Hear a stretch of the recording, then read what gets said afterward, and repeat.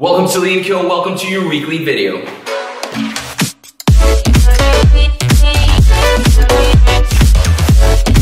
Welcome to LeonCo. and we are culminating our month of May. And with our month of May, we've been discussing the perfect storm for economic collapse. Well, for this last video, we want to uh, put on what would happen if unemployment rate keeps going up, the credit crisis happens, and the house mortgage collapses because of a crisis, well, eventually what would hit is the stock market will eventually plummet. Yes, just like it happened in 2008, just like it happened in the Great Depression, and just like we've lived in many different uh, depressions, recessions, uh, the stock market collapsed. And this is a consequence of many catalysts like we've discussed throughout the, these couple of weeks. But this is very important because in this specific aspect, the stock market will not only be affected by direct circumstances, but by indirect circumstances. And let me explain. The start of this stock market crisis is because of indirect circumstances. It's by something that didn't affect it directly. It did not have to do directly with the stock market and it's something that the stock market didn't have control over. And what is this? The global health crisis that we're living today. This does not have to do anything financially or economically with the stock market, and yet it affected it in a way that not, the stock, not just the stock market in the United States is affected, but global economies are affected by this. And this is a factor that is relevant to this specific economic crisis that in other depressions or in other recessions did not come into factor, but did, because it did not exist. So this is very important when we come to discuss the importance or the relevancy of impact that it would have on the stock market thanks to all the other things. So keeping this in mind, let's go to the first catalyst for the stock market crash. Well, unemployment it was the first video that we discussed. Well, unemployment, if you've been following weekly or monthly, has been going up and it is expected to keep going up if uh, the economy does not reopen, if factories just not don't reopen, small business are already uh, going bankrupt, and small and some businesses are not even going to be able to open back again. They're just going to be closed indefinitely.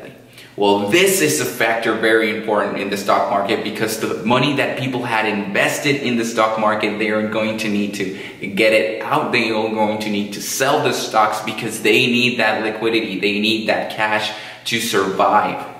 The second catalyst is the credit crisis. And why is this very important? Because people are maximizing their credit cards and, be, and they're using money that they don't have with a limited amount of credit. And this is affecting the stock markets because people don't have money to keep investing.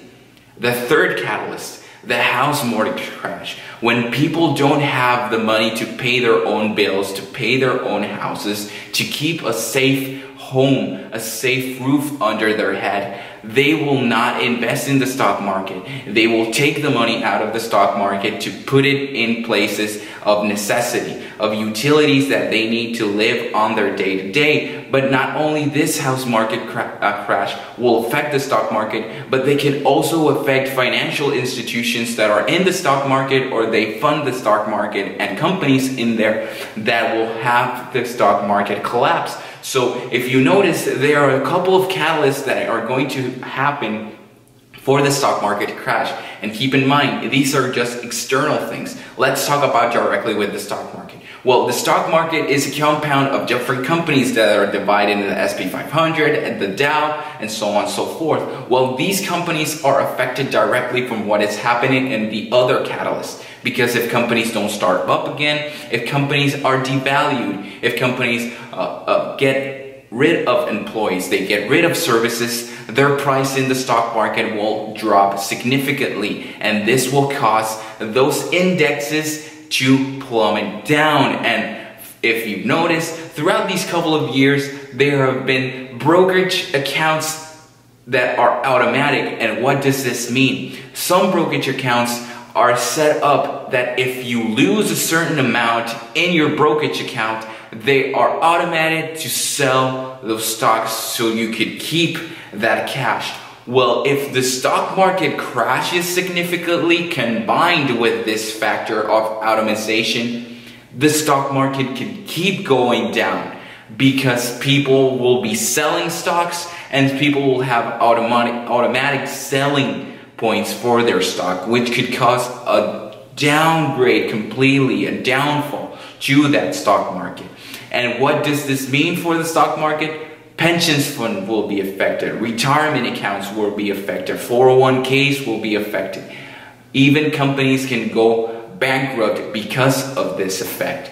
So this is the last factor for the perfect storm when it comes to the economic crisis because if you get of the present of people, if you get rid of the future of people with their financial aspects, this means that people are stuck in this negative circle of uncertainty, of recession, of financial insecurity that we have not seen in years, or maybe we have never seen before. And this is a very uh, scary and risky time that we're living, and we are dependent on people that we have put our trust on to make the right decisions as well as our individual decisions are affected.